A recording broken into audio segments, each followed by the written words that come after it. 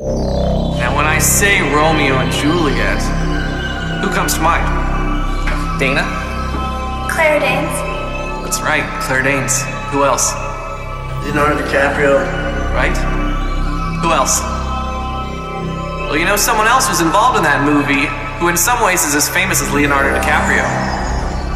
And his name's William Shakespeare. And some great movies are based on his plays West Side Story, Talented Mr. Ripley, Waterworld, Gladiator, Chocolat.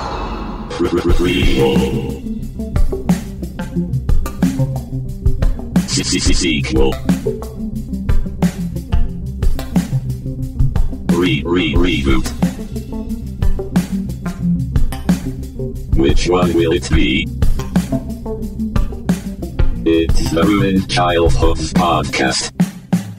Greetings, Starfighters. This is Ruined Childhoods, and we have finally cruised through all of the states beginning with the letter A on our alphabetically ordered trek across America. On this episode, we are in the Golden State, California, which is named after the land in the story of Queen Califia, a mythical remote island rich in gold and pearls, inhabited by beautiful black women who wore gold armor and lived like Amazons. But the US state of California tells a different tale. One of garlic farms, vineyards, and a stretch of the five referred to as Cowschwitz, where you need to drive with your windows closed, or else you are subject to the aromas of the many slaughterhouses that line the freeway. And though the California and though the California in Queen Califia's story is robust with gold laden black women, only 5% of the US state's population is able to represent such a demographic. Should we have covered the last black man in San Francisco for this episode? Boy, would we have a segue. But instead, our tale begins in the southern region of the state with a leading cast of all white actors. Dan, do you have any favorite memories from visiting California? Uh, well, first of all, I prefer the pronunciation California. Oh, jeez. Yes, no, it's one of my favorite Arnold words, that and bullshit. Orange County, California reminds me of I'm going to take you back to 1987. Oh geez, okay. When we when we as a family, Yeah. uh, Jon and I are brothers uh, for those uh, unacquainted. So we traveled to California for a wedding that was being held in Orange County. Is that why we were there? Yes. I have no recollection. we were there for a wedding of one of our mother's cousin's children. And we were it was in orange county and we stayed with our my mother's cousin cookie and her mm-hmm. then husband frank. And we stayed i remember we stayed at, at their house. And Frank took us to like the local because like all right what the hell are we gonna do with these three kids? I was nine going on ten. Okay. Making making you you would have been four and Scott would have been five Five, uh, yeah. so all right what am I gonna do with these kids I'm gonna buy them ice cream rent a movie and shut them up in a room with the two so we went to the local like strip mall that had like a video store and a a Ralph's or whatever. Yeah. And I, I remember these are the things that I remember. I cannot remember why I crossed the room, but I can remember that we bought the Nestle Crunch ice cream bars. They were brand new. this Oh, was like okay. a new thing at the time. This was revolutionary to me because Doubt they even exist anymore. uh, they sure do. Do they? Okay. The Nestle Crunch ice like I haven't seen a Nestle Crunch in probably 11 years. This is a it's a vanilla ice cream bar coated in Nestle Crunch. Got it. And it was I was a little fat kid, so and I loved ice cream and Nestle Crunch and here they were together at last and we rented Three Amigos, Ah, yeah. which we have covered previously on this podcast. Check the archives. Which on. is an entirely inappropriate movie for children. I mean, maybe all of our ages. I think about showing it to my nine year old, and immediately there's at least three jokes that come to mind that I'm like, "Ah, I don't want to have to be, I don't want to Sure, yeah. explain that. So we watched The Three Amigos. I, you know, no harm done, clearly, but we watched or, The Three or Amigos. a reparable damage done. knowing us. I- it's the reason why we do De- this podcast. Depends on your perspective. so going back to Orange County, that's my that's my early childhood, and of course, Orange County is where Disneyland is. So that's one of your favorite memories of visiting California is being introduced to Three Amigos while eating a Nestle Crunch ice cream bar. Correction, Jon. I was introduced to Nestle Crunch ice cream bars. I had seen Three Amigos already in the theater. Oh, oh my god! We Mom took me. talked- My god. I wanted to be specific to Orange County. We're talking about Sure. Orange County today. Yeah. I'm sure I don't say orange the way because they orange. I think they it is pronounced. I think that. I have trained I have trained the the New Jersey out of my dialect as much as possible and I am now an orange person, you've not been an out, orange. You've been out of there much longer than than I have. Well, that's true, yeah. I- I'm also I'm I, I'm making a conscientious effort to cling on to it. If it's anything that people here in Seattle make fun of the way that I pronounce it, and when I say people, I mean the, the teenagers who I teach. Mm. When they make fun of the way I pronounce something, I double down. They made fun of the way I pronounced water. Okay. They actually made a video for a project, and it so happened they they had a new product that they were marketing. It was a rhetorical appeals project. So they were making a commercial for a product called Water, W A U G H T E R. And Water. I loved it. I thought it was hilarious, but I'm like, now I'm just doubling down. I'm going extra hard on the war. I feel like I mispronounced.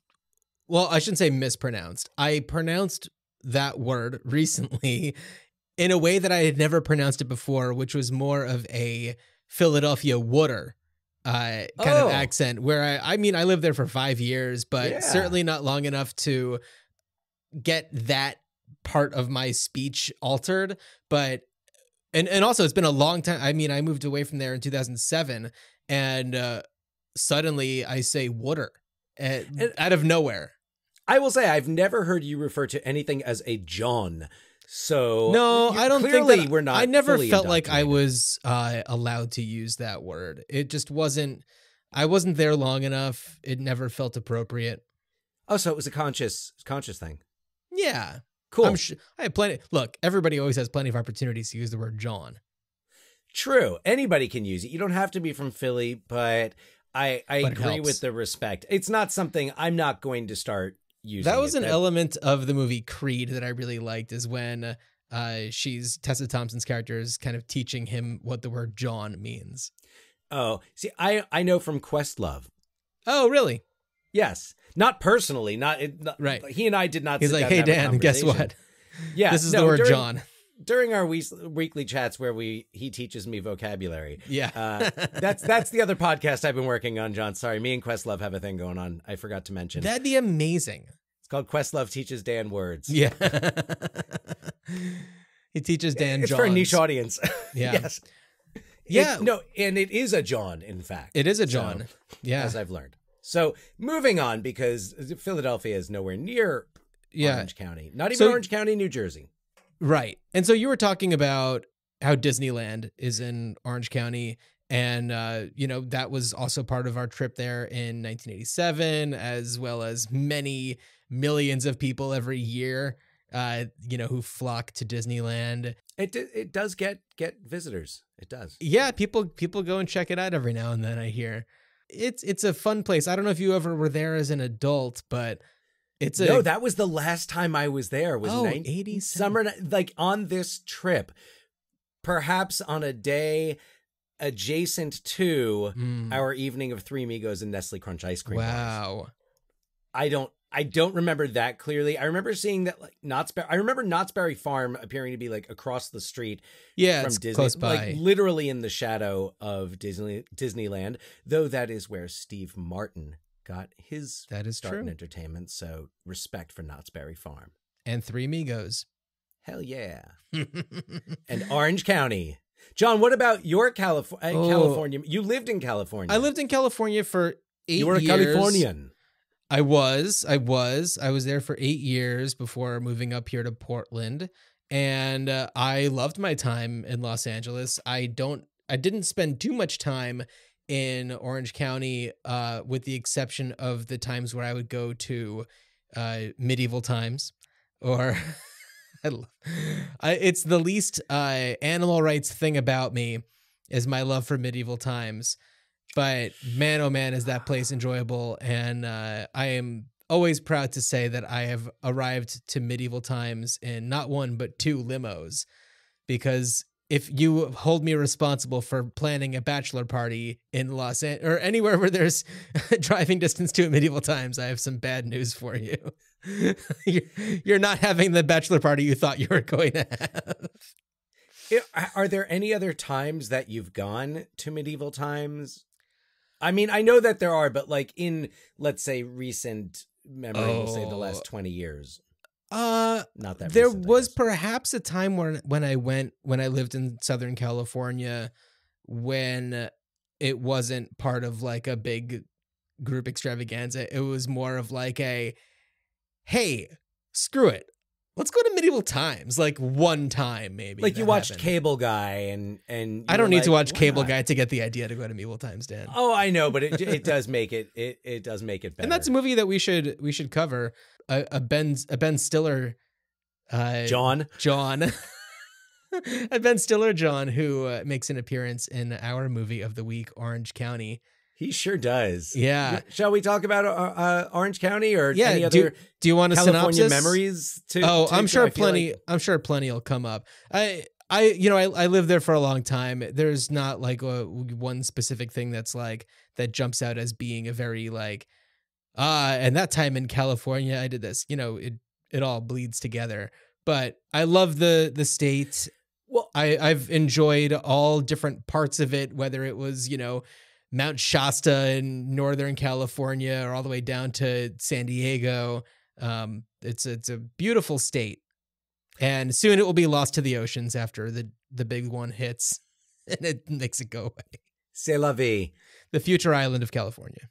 And and may I add before we move into the synopsis that of course some of my favorite experiences visiting California were visiting you while you were living there. I was kind of hoping that you were going to say that your favorite memory was when we went and got, went to see uh, the, the Dark Dark- Crystal. Oh, at the Hollywood Forever the Hollywood Cemetery. No, if you okay, so if I was not keeping it specific to Orange County, Right. I probably would have. I've had a lot of good times in California because I've been to San Francisco and Los Angeles, but but Dark Crystal at Hollywood Forever Cemetery is one that comes up frequently. that was a good day. That's a flex. That was that was a good day. when I have the opportunity to to sling that story, man, that was. it. But also so many other good times in California, a state I really enjoy visiting. Yeah. All right, well, let's kick it to the synopsis, shall we? Kick it. Distraught and looking for meaning after his best friend's sudden passing, high school senior Shaun Brumder comes across a book in the sand of a SoCal beach that changes his life. When Shaun discovers that the author of his new favorite book, Marcus Skinner, teaches at Stanford University, he decides to mail Skinner a copy of his own short story and attend Stanford in the fall to study under his favorite author's tutelage. But after Shaun's careless guidance counselor sends Stanford the transcript of a different, underachieving student, Shaun is denied admission and takes it upon himself to head up to the Bay Area from Orange County to prove his worth to the admissions officer. He is aided by his burnout brother and his devoted girlfriend, who helps him, despite the fact that Shaun going to Stanford would mean that they would likely have to break up, seeing as how she would be staying in Orange County to study marine biology. And unbeknownst to Shaun, he is also helped by his mostly absent multimillionaire father, who is harboring confusing feelings for his ex wife, Shaun's mom. So Colin Hanks is, you know, this is his breakout role as Shaun. Uh, this is kind of like the introduction to son of Tom Hanks, you know, being a, you know, your new Tom Hanks. Well, a son of Tom Hanks. Let's not let us not ignore Chet. Uh, Let's ignore Chet. Chet will not be ignored. I love Chet Hanks. I am a Chet Hanks fan, Dan- mostly because I just it's perfect. It is perfect that Tom Hanks has two sons like Chet who's how would you describe Chet Hanks? Well, with the three words that he used to describe Oh. his summer a few years ago, white boy summer. White yes, Chet Hanks Yeah. co- I believe And- coined the phrase white boy summer. Yeah, and I also want to acknowledge that he also has a son, Truman Hanks, and a daughter, Elizabeth Ann Hanks. Oh, okay. So Truman Hanks, uh, uh, he was in the movie A Man Called Otto.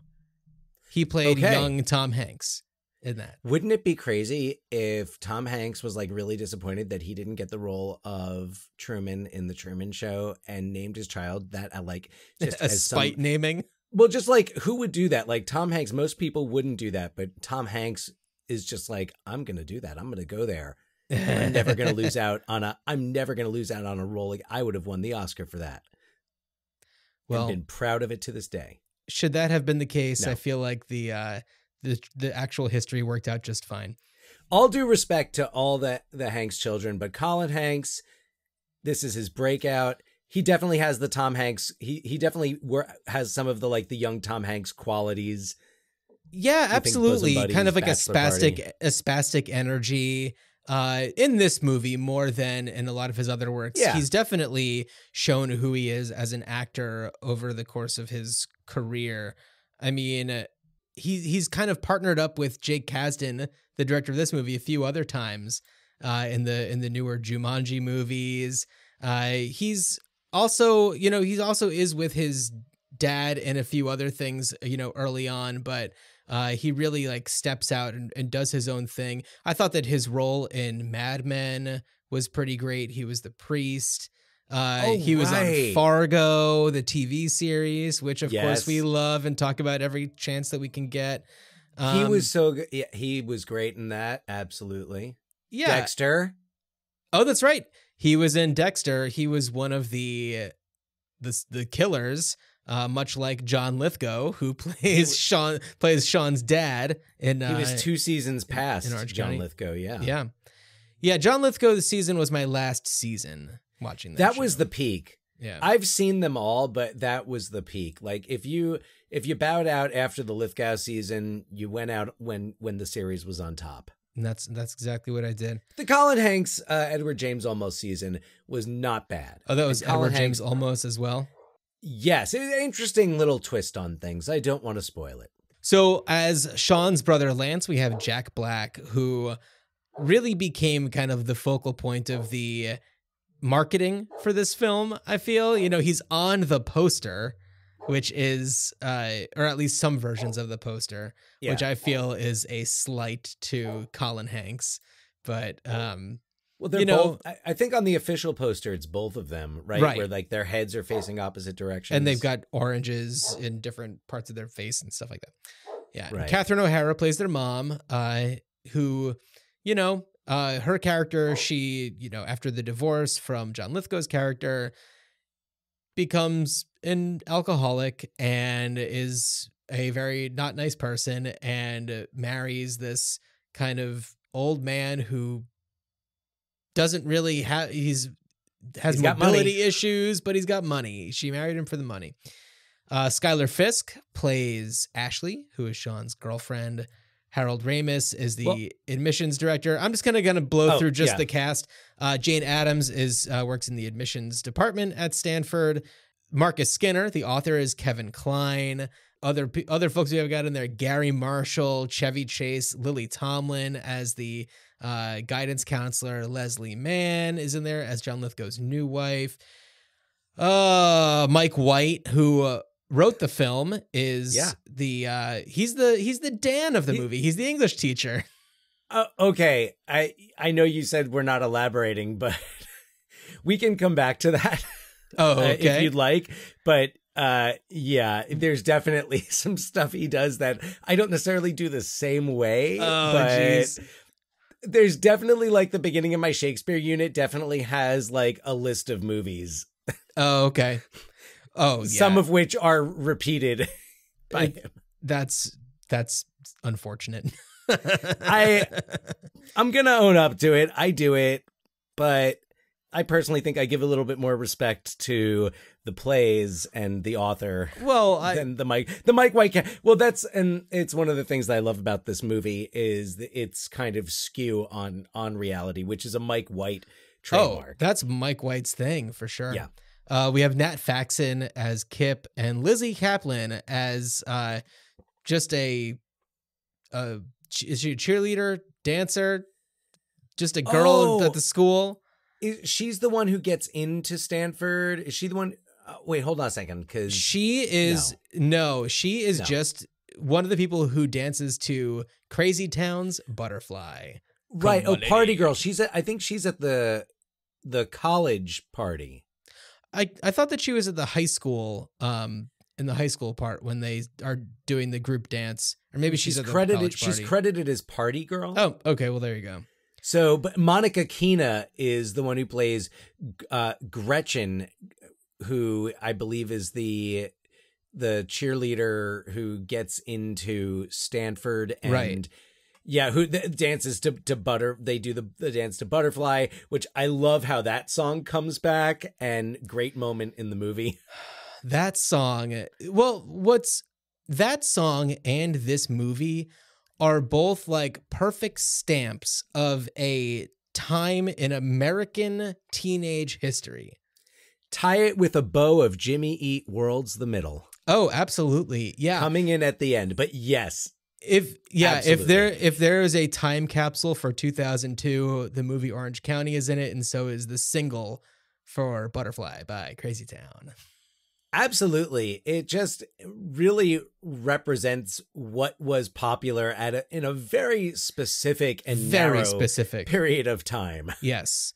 The like the the girls with the low rise jeans and yeah, all, all of it. It was post 9/11. Let's we'll just leave it at that and and be But it's a very different This so was how so we dealt with our trauma as a nation with uh rap rap rock, uh, crazy town yeah. and Jimmy World and whatever else is in this movie that is typical of 2002. Well, I do want to give a shout out to one song that's in this movie that kind of connects with the last movie we did, Mud, which is Love and Mercy, Brian Wilson.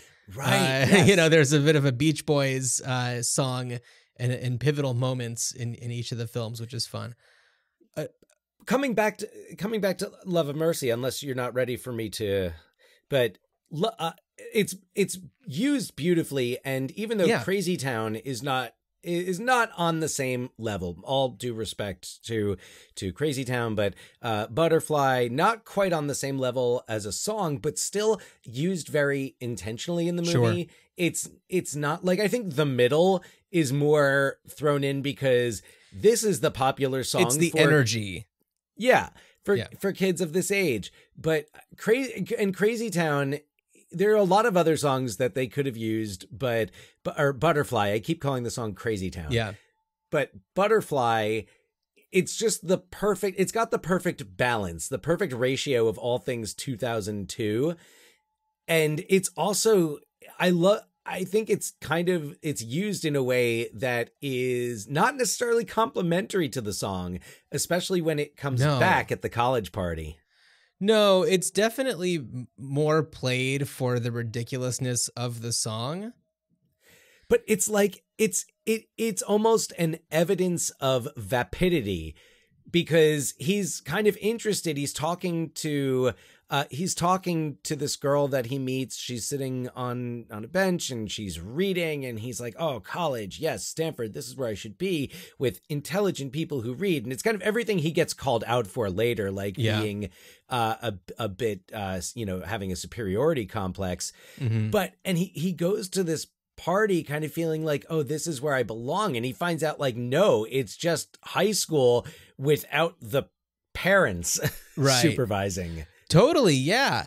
I also want to point out that the song Butterfly makes an appearance in another movie from the year prior, Saving Silverman, also featuring Jack Black.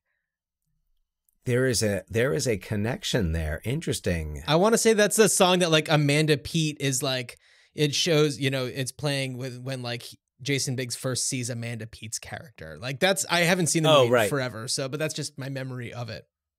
I remember a lot of neil diamond i remember neil diamond well, being yeah, of course movie. there's going to be so much Neil Diamond. It's about a Neil Diamond tribute band. yes I, you know i enjoyed saving silverman when i saw it once upon a time Yeah, So- Saving Silverman is one that I definitely uh, want to revisit, but it's never streaming anywhere, so I don't. no I, you know I give up on point- that idea. It'll happen at some point, but I remember it being a fun movie.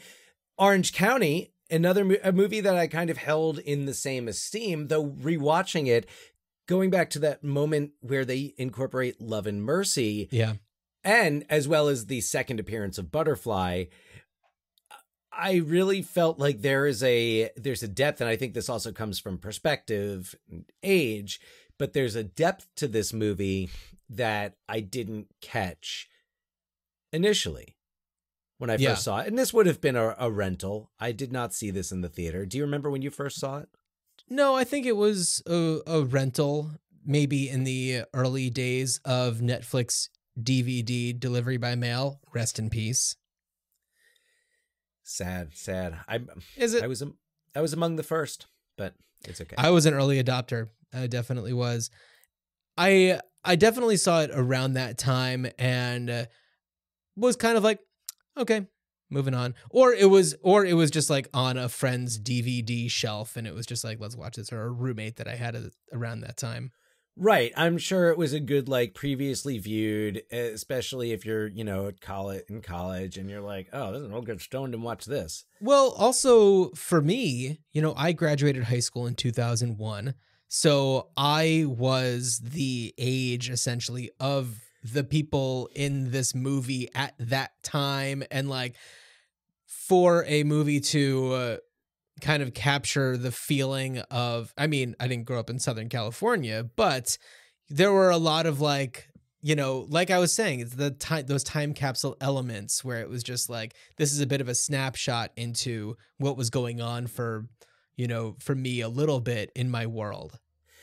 And it's it's so cool that you say that because as I was watching Orange County, I was thinking of another movie that that we are going to, I'm almost certain we are going to be visiting it on our road trip a little further down the down the road. So I won't say too much, but it's a film that I definitely had a similar vibe with and f- also felt I'm this I'm the same age as that character. Oh, okay. I am experiencing kind of what this character is experiencing in some way shape or form. So I will remember when it, when the time comes, of Okay. course, because it's a very, eh, eh, very you know specific and significant. But when the time comes, I will connect it back Yeah. to Orange County. Well, there's another movie that I want to try and connect to the movie Orange County in a in kind of a roundabout way. Dan, did you clock what the name of their high school was? Oh,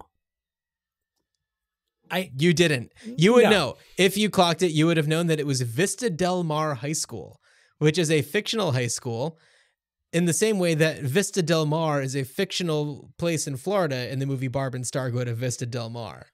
It is just such Oh. a generic name of like a you know beachside uh, scenic place. How did I miss that? I love Barb and Star go to Vista Del Mar. It was just one shot that just shows the, you know, the placard in front of the high school. It said Vista Del Mar High School. I'm- and I was just like, oh my God, it's happening. Come on, Dan, you're slipping. You're gonna Yeah. catch these things. All right. so I also wanted to talk a bit about Lily Tomlin's character, the guidance counselor.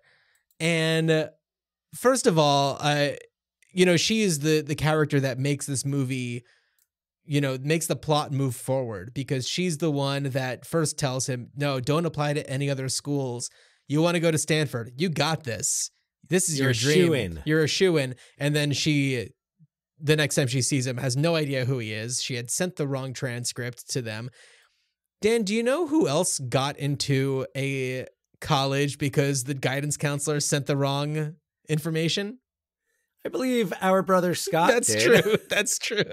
S- Our Scott got brothers- into he got into Brandeis University because the guidance counselor was supposed to send the application to Boston University and messed up.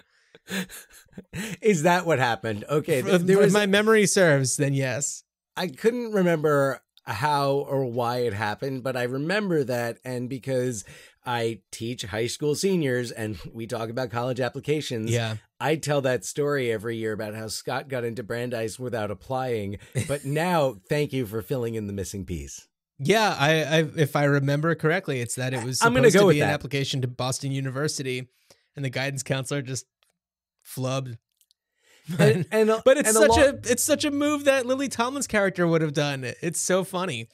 I mean, along those lines, it's not the most unbelievable situation. Well, what's important to know is that because this is taking place in the early 2000s, this is before the time of applying online. You had Yes. to fill out paper forms. The guidance counselor had all of the forms for the different got the forms to the different colleges to to submit and you did it through your guidance counselor. And that's just how it's done. I, I don't know if that's if it's done any way similarly to that anymore, but there's there was no online option at the time. Barely, but I'll I'll share this anecdote here. Please. One year during my teaching career, I had a student who was applying to schools in the UK. Okay. and she needed to have someone from the school send her uh, transcript, anticipated SAT scores because it was before she got her SAT oh. scores, anticipated GPA, and she needed it to come from. I I forget if it was someone, I don't think it was someone other than a counselor because, long story short, I ended up doing it because the counselor didn't Got it. or didn't it, I think it was the counselor. I don't think it was another teacher that that kind of dropped the ball, but I ended up I ended up doing it twice for this student. Oh, okay. So in that in that respect, there's things like that that need to be followed up on. But Yeah. look, we we are talking twenty over twenty years ago. The Har the not Harvard Stanford acceptance list is Mhm. printed on a dot matrix printer. You can see the perforated notches along the side. Yes, it, it- we are still in a time of paper and mail, like paper acceptance letters. Uh, Right. the girl, the cheerleader, gets her acceptance. Uh, her uh, is it where she gets the letter or where her mom like comes to the school and tells her? I think that she's just tells her over the phone or something, and she's just like, "I got it to Stanford." right, Yeah. but it's still a letter. It's not like Yeah. now. Now they have something called the Common App. Well, Do you know what the Common App is? Oh no, I don't. Common App is something that it's a it- it's a it's a website uh, that colleges all use, and you basically upload one application. You have teachers. So, like as a teacher, I'll get a request. A student will say, Mhm. hey, "Can you do a recommendation for me?" And I'll say yes, You'll and say then no, buzz off. And I'm a doormat, so I will say yes, no matter how many I have. Props to this to the class of 2024 because a lot of them asked me last spring. Whoa. Okay. Yes, so props to them. But more often than not, you're getting asked with like a week to write the letter Yeah, at the busiest time of the year, yada yada yada. You upload and then you just fill out the thing on Common App, and it goes to any of the schools that use it. Not every college uses Sure. Common App. A lot of schools out there. But even if they don't, they're still doing things electronically. There's none of this paper anymore. It's it, very hard for So- a mishap like this to happen. So for for now, and if the if this common app is being used, are there actual like snail mail accept acceptance packets, or is it all just through this app? I bel I I don't know if they get their acceptance materials Mm. through the app, but I'm almost positive it's it's digital. It might come directly from the school Okay. if, when they're accepted, but I think it's still an email. I don't think they're getting the physical pa- I don't think it's a thing where like, oh, it's a thin envelope I didn't get in. I know. Well, that was part of the, uh, you know, the nerves about it was just like checking the mail. But, you know, and there's a scene in here where he calls, Shaun calls his brother and he's like, Did the mail come yet? And he like has to go to the mailbox and check it. And uh, yeah, it's a big deal. It's a big difference between getting just a regular envelope and getting a packet. Right. And when you, as soon as you see that it's the envelope, Oh, you know. oh yeah. Yeah, you're and kind of surprised he doesn't. Well, you know, he was excited and also it's a fictional character. So there's that. this is true. serves He the story better to to to read the words to feel the excitement until you actually read the words You know, Jon, uh, to paraphrase a movie I know and love, Three Amigos. there's eh, there's a Shaun Brumder out there for everybody. Every, every school, every Yeah. college has a Shaun Brumder. There we go. I There's it. a, you know, there's Yeah. a plethora of reasons why. a plethora uh, of Shaun Brumders Shaun out Brumders. there in Yeah. real life, and none of them might be named Shaun Brumder, but one of them could easily be Yeah. Shaun Brumder. But there is only one Jack Black. Despite how many people have tried to be Jack Black, there is only one. And uh, it would it's you know this movie was really strange to watch because I it's the, one of the few times where I just wanted less Jack Black because I felt like it they he was being used kind of as a way to like cover up any of the patches and it's just like no just kind of like let the movie breathe and let the movie be a little bit and you know that uh, there's no way that Shaun knowing his brother would have been okay with him going to Stanford and Oh, but Jon, driving he's a- there He's a fictional character. but in the world of this movie, No. somebody who is so I- focused on uh, making it happen. I agree. I totally agree. That was Yeah. a big di- distraction from not a huge distraction for me because it's it, it's an 88 minute movie, but uh it was definitely like come on kid, if you want to go to Stanford but you don't realize that like your brother is going to fuck it up. Whatever Well, it is. And maybe there was some sort of like, you know, s- studio decree of like there needs to be this much, this percent of Jack Black, you know, since High Fidelity came out. I can only imagine that more however far along this movie was in pre-production Yeah. when High Fidelity came out. Was there anything? I guess there was Saving Silverman, Saving but Silverman, that wasn't yeah. necessarily a huge hit. High Fidelity was really the breakout. Yeah. But I can only imagine that there was okay, if Jack. If this is characters being played by Jack Black, there must be more of him. But we really don't care what he does as long as he is Jack Black doing it Jack Black style. He's got to pretend he's a ninja. He's got to he's got to Yeah. roll around. He's Well- got to be sexy. you know, before this came out, we did have Shallow Hal. You know, that was 2001. So that's a starring role for him. Oh yeah. Aside from that, he was doing a lot of these smaller roles. You know, he was in Jesus' Son and Cradle Will Rock. Uh, I still know what you did last summer. Uh, oh right. Well, cable guy. you know, he was he was like the Cable guy in the van and Enemy of the State. Yeah, he he. I want to say he had a couple of those type roles, The like the Jackal. Jackal. In the Jackal, he pops up right. So like throughout the '90s, he's Yeah. popping up in these The movies. Cable Guy, The Fan, Mars Attacks, Right, he's- Waterworld, as we've talked about before, which is like a deleted scene. Yes, yes, And one of my favorites, Airborne. He was also a Demolition Man, and True. uh, quite. I guess you could say famously his first role is Bob Roberts, but it's famously only because of like you know the Tim Robbins connection and the theater, you know, where they all kind of came up, or Well, where he got- came up under Tim Robbins' kind of tutelage. He kind of has those two connections working for him throughout his career because Tim Robbins also made Cradle Will Rock. It's a great movie I have not seen since it was in the theater, but he's got that Tim he he had that Tim Robbins connection, but also in with Judd Apatow, so Right. like through Cable Guy and Sure. Ben Ben Stiller, that whole Yeah. network there. So and and Jim Carrey, who of course goes on to star in the Truman Show instead of Tom Hanks. Son We don't wanna start the rumor. Orange County. We don't want to start the rumor that Tom Hanks like ha- holds a grudge about not being in uh, the Truman Show. No, we don't. I do.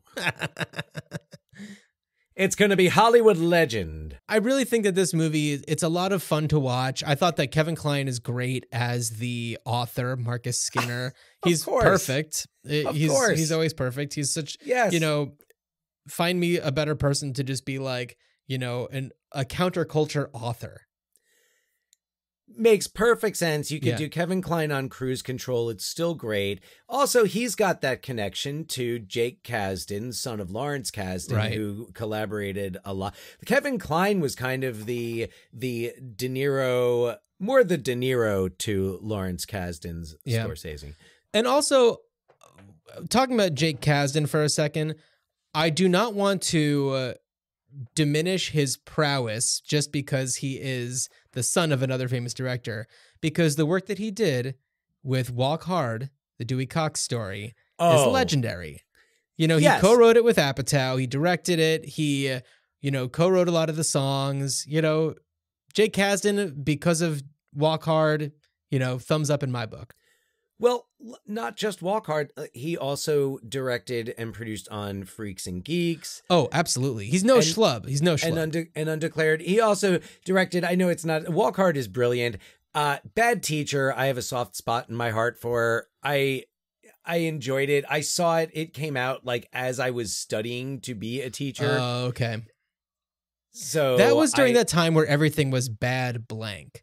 You know, there was like bad Right. grandpa and uh, you know Well, it started with Bad, bad Santa, Santa, right? and then there was Bad right, lieutenant. Bad, Bad Lieutenant, Bad Company, Bad Lieutenant, Port of Call, New Orleans. Yep. Bad Girls. There was Bad Girls. Was Bad Girls the one that was kind of like Young Guns but women? Yes. Okay. I, kind of doing a doing that a you know a little bit before it, it, it you know became kind of the quote unquote thing to do. By Right. The way. Yeah. So Bad Girls. Well, I've never seen it, but I haven't Uh, seen it either. No. it, it, it- I remember it coming out, and eh, someday, someday I'll catch it. So, Bad News Bears, Bad News the Bears. remake with Billy Bob Thornton, also at that time. That's true. Also, uh, you know, a legend of bad blank movies. Anyway, I have nothing else. I have nothing else. I'm There's not nothing else to going. talk about. Moving, moving right along. So yes, no. Jake Kasdan is uh, a uh, you know fantastic director. This was his first uh, his his directorial feature directorial debut. Sure. Yeah. and uh, you know always interested. I haven't seen the. Have you seen the Jumanji like what reboot? I saw the sequels? first one and it it just wasn't for me. No, No, wasn't for me. I I understood why they did what they did, but it just you know wasn't for me, and that's it okay. Feels it feels to me, and this is coming from not having seen it, that it's kind of trying to uh, take some of the success of the Night at the Museum franchise. well, I get that vibe from it. yeah, I don't know. We're running away from scary animals. sure yes there is that but a lot of it has to do with the uh, you know the, the kids that get sucked into it becoming these avatars you know these different characters and so you know jack black's character is it's a teenage girl who's being the character and so he is kind of embodying a teenage girl Oh, while being okay. Jack Black. And then, you know, like Dwayne The Rock Johnson is kind of the the kid who's the hero. And then there's like the Kevin, I forget what kind of kid be, is the Kevin Hart one. And maybe that's like the football player kid. I don't know. But also it's like, I, I'm over, I, I don't know. I'm just not a big Kevin Hart fan. And uh, I feel like there's just a lot of jokes in there that just aren't my style. And that's okay. I'm glad that there are people who do enjoy it, but it's just not for me. There's really not much appeal to it, honestly, for me. It's not like it's like, man, I've been ah, I just have not had the opportunity to sit down and watch these movies. Also, No. I didn't love the original Jumanji. Neither did I. So I should said it. have. It was exactly, you know, for my age range. I want to go ahead and say that maybe it was a little lazy and it was maybe a, a little bit like Robin Williams on cruise control Yeah. at that point it, where he's doing these things probably more for the paychecks than the love of it because I think we we've we saw in his career when he did projects that he was passionate about like I'm sure he'd rather do I'm sure he rather would have done many more like world's greatest dads right, but that was later on in his career. uh, but even early on, he still was an actor that took chances or that chances were taken Oh, with him. We- We've absolutely. talked about Popeye. oh, yeah. I mean, starting Yeah. from the from the beginning there. Yeah, so we've got Orange County here. Who else in the cast have we not talked about? We talked about so Schuyler Fisk, the uh a, a fine actress, uh also the daughter of a fine actress, Sissy Spacek. Yeah, and you know, she had a pretty short-lived acting career, right? Yeah, I uh I don't think she's done I don't I don't think she did much. I feel like she did more kind of like indie films and maybe and Oh, music. I guess she's still a little bit more active. Some things that I've never heard of before, but after Orange County, let's see, just last year she was in uh, Sam and Kate, which is with uh, Dustin Hoffman, her mom, Sissy Spacek, Uh, Jake. Oh, Hoffman. right. Yeah. Yes. Yes. And you're right because it was it was the parents and their their kids in it. Right. I remember seeing that that was streaming and and thinking, ah, I'm not interested. Yeah, and according to the poster, she looks exactly the same as she did in 2002. So 20 Right. years later, oh, Snow Day. She was in Snow Day. That was one that I really remembered her. I never saw in. Snow Day. Was that like kind of like one of those like Nickelodeon movies where like it was supposed to be like a Pete and Pete movie something like that? Kind of, probably. I want to look Yes. that up real quick because I yes. feel like that was part of like the the lore behind it. Oh, maybe not. Or maybe it was like Recess or something like that.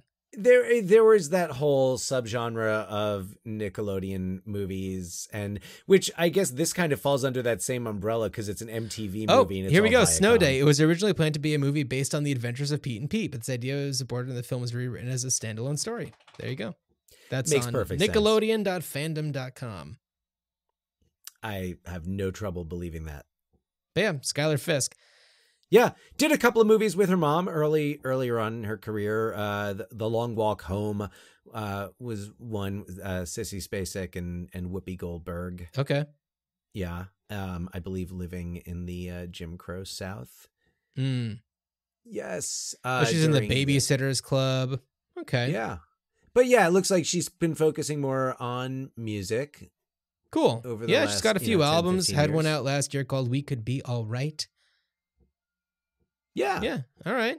I'm sure it sounds like she's doing what she what she wants to do, and that she's doing well. She's uh, you know, graduated from the University of Virginia in 2006. All right. Oh, she she really fit in this movie though. I felt like She she, felt right, you know, as kind of the the SoCal aspirations to be a marine biologist, uh, you know, loyal girlfriend. The and, hard on you her know, sleeve yeah. type. yeah. Uh, this is getting into spoiler territory, but Dan, what did you think about the ending? So at the end of the movie, he ultimately decides not to go to Stanford, and then everybody just applauds. And it's like everybody meaning like his father who just donated how many millions the of dollars to Stanford? believable part of the movie. Yeah. Including when Jack Black and Jane Adams burn down the admissions building at Yeah. Stanford after they smoke a joint and have sex. Or Yeah. not in that order, I guess. Uh no, I was like I was mad. I was so angry. I was like and go for a fucking semester. God damn.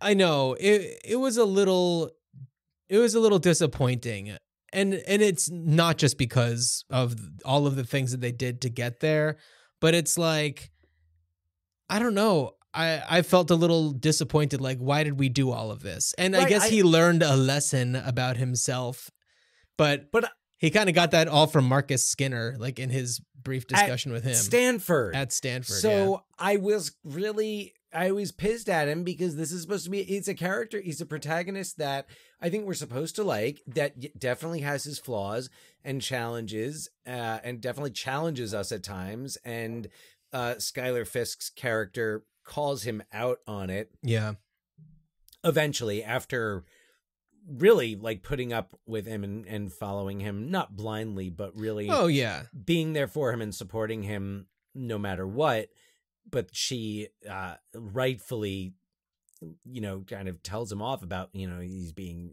selfish and he's and and that's how he ends the movie is kind of selfishly and are we supposed to think that he didn't end up going? It- this is not i'm not felt- like oh i want a yeah. sequel that shows us what happened it felt disrespectful that he put everybody through all of this us and- included us, Us included, and he then decided to stay in Orange County. And, you know, as we know, you don't have to stay at the place where you go to college. You could go wherever you want. You can, uh, I, I don't know, spend your summers back there and be back pretty frequently. I mean, you don't have to change the way you pronounce water no, just because you don't live in the place where they pronounce it like that. Yeah. And you can still and like yeah, it's not like he's leaving Orange County. In fact, I think he kind of misinterprets Skinner's advice. Right. Yeah. I, He's I taking it very literally. Yeah, i so that that didn't really He's supposed to be a good writer, and Yeah. like yeah, that that didn't work for me. I also felt like um the whole storyline with John Lithgow and Catherine O'Hara. I understand how why he would want to not be with his current wife anymore. Uh, you know, Leslie Mann's character, but it doesn't make sense to me why he necessarily wants to get back together with Catherine O'Hara's character. He gives a nice little, you know, speech about, you know, finding himself driving to their house and all that kind of stuff. But like Catherine O'Hara also has just like a lot of work to do on herself. And she's still married to what was Well, name? Frank? Bob. Bob. That's what it Bob. was. And okay, so the John the John Lithgow flip there, right? He's kind of skipping that step of maybe I need to be alone for a while. I Yeah. did. T- I took that to be a character flaw, and this is a guy who doesn't who doesn't stay single. This is a guy who doesn't who does just casually date. He's going to go from being married to Catherine O'Hara Yeah. to being married to Leslie Mann to now being married to Catherine O'Hara. Well, Yeah. Once I the paperwork clears. or, or just be living. I have no idea how it's how it would work, but Bob seems fine at the end of it. yeah. Bob He's kind takes of an- just there. Bob takes an ass kicking throughout the movie He sure does. And ends up like all smiles and like lucid Yeah. So that's all good. Yeah, it all just kind of like wraps up really neatly. This is one of the rare movies that I'm going to say maybe could have used another 10 minutes. Wouldn't have Yeah. suffered for being slightly over an hour and a half versus under. And you know how I am on running times. Oh yeah. I, I also didn't love the way that Harold Ramis's character kind of resolved itself with asking for aspirin from the girl who came to his place just because she has a bottle of it and then it's like here take as many as you want. And it's just like uh, that felt very lazy to me the way that they kind of got him drugged. He was on like ecstasy or something at that point. Right. So Yeah. uh, yeah, I, I didn't love Which that. they I set mean, up earlier in the movie. oh, they set it up fine, but it's just like Oh, no, I'm not. Yeah. Um, yeah, I don't I don't love it. I enjoy Harold Ramis in love Harold scene. Ramis. Always Right. love Harold Ramis. this is a movie that does have quite a few shenanigans for the sake Yeah. of having shenanigans. I also, speaking of shenanigans, I didn't love so the characters of Lonnie and Arlo, the like two like best friends. They were fine up until they kind of make a joke about how they were experimenting sexually with one another, and uh, it being just played for the humor of how funny is it that these two guys have romantic feelings for one another. Ha ha ha! Like that doesn't work for me.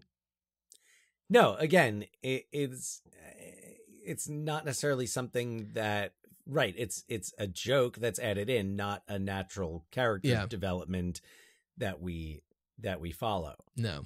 And it's really played. It's really just thrown in there for laughs. It's not. I also would have liked to have seen more from those characters. I would have Well, liked yeah. to have seen them be part of more of the story. Like, why couldn't they have also gone to Stanford? Why Sure. wouldn't they have followed them to Stanford? Yeah. why couldn't right yeah i mean honestly ha- having more about them and have them be more characters and not caricatures might have made that development make more Yeah. sense we'll never know and Well- still it's it's still being it, it- yeah it's it's not this movie Right. Well, also, this is the era of road trip movies. Specifically, like Road Correct. Trip was 2000. And uh, this is a road trip movie that kind of skips the being on the road part because it's not super fast to get from Orange County to the Bay Area. And yeah, I know Jack Black says I can get this there in three hours, but it just kind of No. like, and we're there. Yeah. No, no. Uh but so interesting so that you mentioned uh those characters and bringing it back to the Mike White character Yeah. and his talk about Shakespeare, something that I picked up about this movie that I certainly did not 20 years ago and I will attribute this to my teaching career is that this movie has a lot of Shakespearean elements. It is Oh, yeah. a comedy of errors. Yep. You have the the classic characters, the false the the type the the, the Falstaffian character being Jack Black, the the one who's there for humor. You Yeah. have the young the young lovers.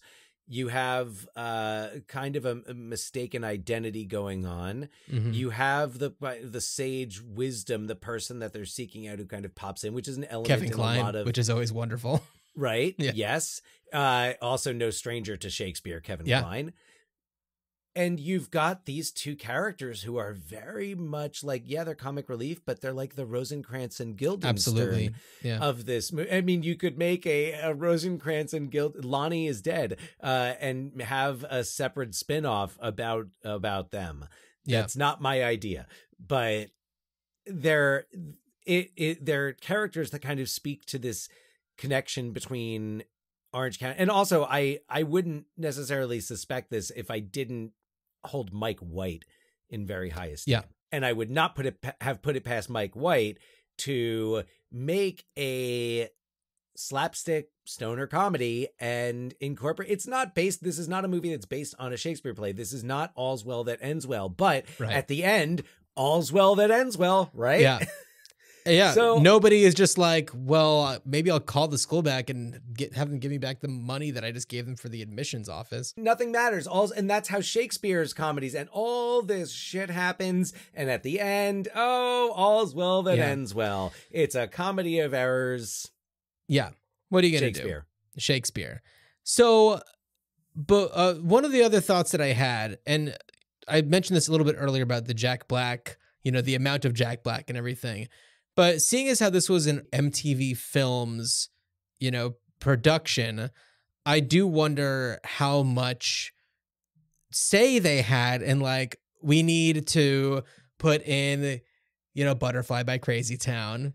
We need to Oh, put yeah. in this, this, and that. We need to, you know, we need to have Jimmy Eat World in there. We need to have, um, you know, these certain elements. You know, a studio executive coming in and just being like, "Hey, let's put in a something about uh, Lonnie and Arlo being gay." You know, like I feel like that is something that I could see a new production company trying to like put their stamp on. I don't know the the identity of their films. Well, yeah, and it makes sense. I'm looking up what other Viacom properties there were because I'm wondering how much placement like was Crazy Town signed to a Viacom owned label. Oh, yeah, that's a good question. Yeah, Uh, I don't know. Uh, so this is let's see. Joe's apartment was the first. Joe's Farmer was the first. I remember Dead Man on Campus being like one of. I think that was like the third. Beavis and Butthead Do America was one of the first ones. Varsity oh, Blues. wait, yeah. No, Election.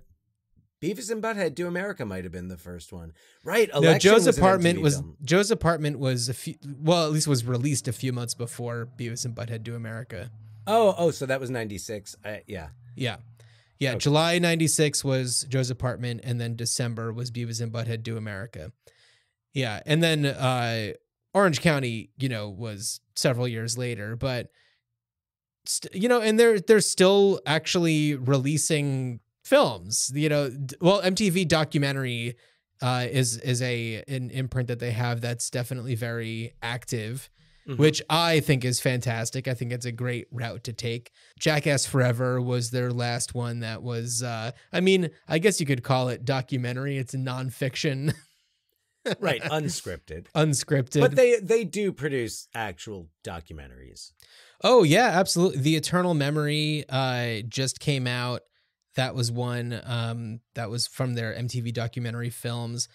But yeah, MTV Films definitely uh you know was trying to get their I guess vision out there. And a lot of those kind of earlier ones and into this time was you know really felt very uh representative of kind of what was going on on MTV the network. And this was you know before it became a lot of reality shows you know your teen moms and your Jersey Shores so Right. uh, you know, I, I'm just wondering how much of a, an effect that had on the final product. Oh, I would say there was probably a good amount of executive interference with this and uh, a mandate of having we must have Jack Black in his underwear. Right. We must have Jack Black doing the Jack Black things that Jack Black does so well. yeah. Yeah. Jack Yeah. Black must appear in some form in every frame. Yeah. So Dan, I, I'd love to know uh what would you do with Orange County in 2023, all this time later, 21 years later? So I don't think I would go the route of a sequel. I'm just not really I don't know that I'm I don't I'm not interested in picking up with these with these characters. Mhm. Maybe Skinner. Uh I would cert you know what I want? I want to read the novel. I want to read his Yeah, right. his novel.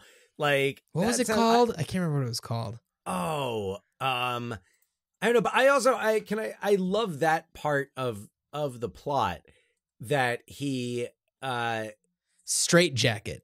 straight jacket that like reading this novel i love i love stories about that where someone like i found this novel and it changed my life so i would uh i would love to read that novel i would love to uh i could potentially see this working as a musical uh potentially featuring like i'm like it's a jukebox musical featuring the songs from like now that's what i call music Right, right. Now that's what I call music one. Like which I imagine uh, like Butterfly in the middle must have been on one of Yeah. those.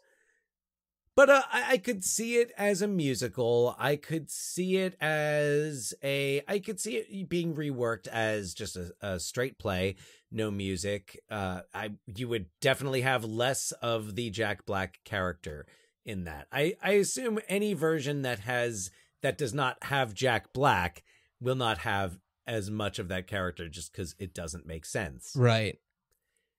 So that's uh that's where I would that's where I would go with this. I don't have any really clever ideas. Of course, it's always you can always do a sequel where you're catching up with these characters, but like I said, that's I'm just not feeling that for this. So if anything, uh, a musical that perhaps really captures like leaning into the 2002 time capsule Yeah. idea. Um, a Totally. musical that just totally captures that and and really the the plot for this is is pretty bare bones. So you could you could throw in songs you could have a great i imagine a great musical number when you've got shaun talking to the the, the college girl that he meets reading Mhm. when they're at the party and kip talking to uh, Kip. uh schuyler fisk's character Ashley. Yeah. Ashley, thank you. I keep forgetting her name, but yeah, Kip talking, and Nat Faxon is so great. Oh, Nat Faxon is. I mean, at that time, perfect college douche. Yes, yes, plays Yeah. it to a T. So I could kind of see that being a fun little musical number uh, where it all kind of collides and comes together. Uh, I could see having a lot of fun with that, and you know, the the mother having a lot to do, and you could certainly throw some nods to. Uh, you know, Jack. The, I the the songs of that of like Lance's songs could certainly be Yeah. of a in a Jack Black style, though I don't think I now that I'm saying it out Yeah. loud and I'm hearing it, it's a bad idea. Yeah. It's a bad. Don't do it. Don't do it. If you're listening to me and you're thinking I'm good, if if you are an executive at MTV Productions and you are writing down everything I say because you're analog and not just gonna go back and listen again, don't do that idea. It's Right. bad. Okay. What are you gonna do? What am I gonna do? Well, you know, as you were talking, this this is just as you were talking about it. I was thinking about like, you know, I wouldn't mind seeing a grown up Shaun. You know, Colin Hanks is great. Love to see Colin Hanks.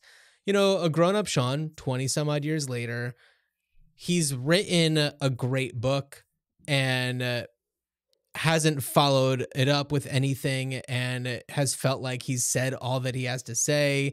And maybe uh you know he reconnects with his estranged brother you know and and have like a less wacky you know story of the two of them where they can connect but have Jack Black maybe be a little bit more toned down. I don't know. That's just what I would want, but not what would happen. So that's not what my idea would be, though, because I like the basics of this plot. You know, someone didn't get into their school of their dreams because of like a clerical era error era. a clerical, clerical and, Okay. their, and their best Have some water. Have some water. it's in the drawer, and their best chance to go and is to go and make their case in person, and uh, even set some time like today where you know we do have such a like a connected online. We're in an era of con- era. We're in an era of convenience, and to have somebody actually go above and beyond and like you know make a trek to a place and find the people and like really state your case i think is a really great way to kind of show what it takes to like f- follow up on your dreams and to like try and make things happen for yourself because uh it, it's there's a lot of pressure i think for kids today and you would know more about this than i do but to make an impression uh with social media there are so many ways that people are already trying and standing out by doing things that maybe aren't as admirable or that take less skill and uh, to do something that is you know more rare going and seeing somebody in person i think is uh, worthy of telling a story. So yeah I, I think that there's just a way that it could be uh, moved around shuffled around a little bit plus also less slapsticky less wacky Right. And if I can if I can share my my reaction to that, this is not just in my wheelhouse being a teacher, it's in my current wheelhouse. This is what I'm doing with students right now is working with Yeah. them on their their life after high school options and do uh, you know, essays and helping them write their personal statements, helping them stand out and thinking about a lot of them in this situation. I really like your idea because I can also imagine having the scene where they they meet the admissions and the admissions officer is like, I've never met an applicant in person. Yeah. Like, oh, you are taller than I've expected. Are they all taller than I've expected? what I'm imagining that like you see it, it- there's there's so much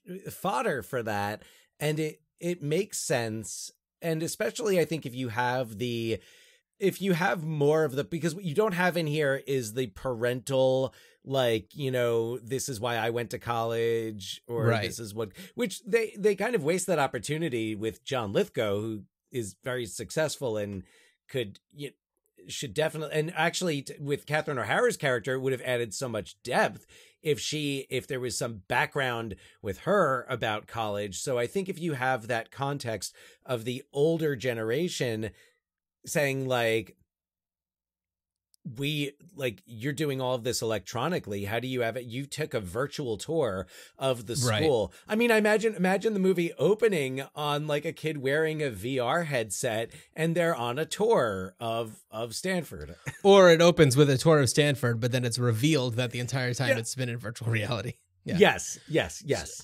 Well, I think that there's also something to be said about the difference between even like 2002 and today with alternative options to going to college because college is not affordable.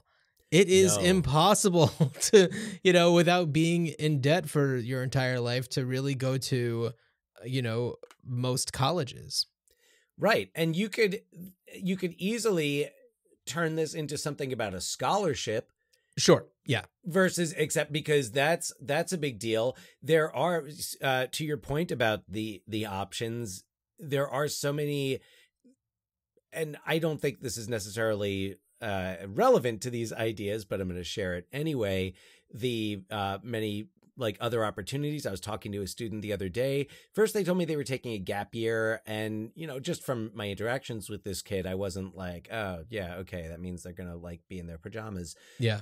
But they're, they're actually in a program that sends high school graduates who are taking a quote unquote gap year to I think they said they're going to Indonesia, Oh, cool. Guatemala, like they're go- traveling to four different places in the world and working in communities, doing service projects. I think it's mi- I think it's kind of tied to missionary work, but still, it's like there it's not what when i think when some people hear gap year that's what they think i don't think it means Right. that anymore for a lot of people they're in in high school taking classes at a skills center where they're gaining the skills and accreditations that they need to Yeah. work in different professions so in in some ways it's uh, opening those doors a lot sooner and helping students and saying you know you can learn everything you need while you're in high school Right.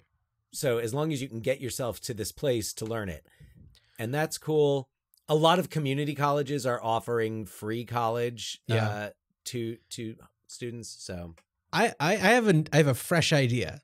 Hot off the hot off the presses. perfect The for mtv still wet. films they're fresh Yeah. So, what if the whole thing is just flipped? It's reversed. And it's about a school that because it's so unaffordable, they are try- they're trying desperately to get good students. Or it's like an exclusive program. Maybe it isn't even a college, but it's like a very special like specialized program that only admits like 15 people a year. And uh, they accidentally accept the wrong person and instead they reject this person that's been like you know the the talk of the town and they really want to get this person in their program because of the clout so kind of like the college version of the good place the college version of the good place I don't know. That's what it made me think of, where she ends up in. I mean, of course, if you know people who watch the series know yeah where things go with that, but the premise, the original premise, that uh, that she ends up in uh, in heaven when she should be in hell. oh yeah yeah yeah it's I- exactly And I also I thought initially you were going to go the police academy route, where like Stanford just starts admitting like any like anyone with eh, like interest like you're interesting you're in because Yeah. we need to diversify so Well, no, They're- and it's you know, and then it becomes a a story about somebody working in admissions who screwed up trying to undo their error and like going and finding the person that they accidentally accepted and like you know pretending there's somebody else to try to convince them not to go and you know like because they it- can't bring themselves to tell them I uh, screwed up. yeah well yeah absolutely yeah they have to try to find clever ways to get the person to not go to to i don't know John, that's Go a legit route. idea. That's a a legit idea. We need to contact not even just MTV MTV Films. films. I think we should let them have the first shot. Can we call it reverse Orange County? I think we should call it Marin County? Eat Eat Nuak Egg Oh.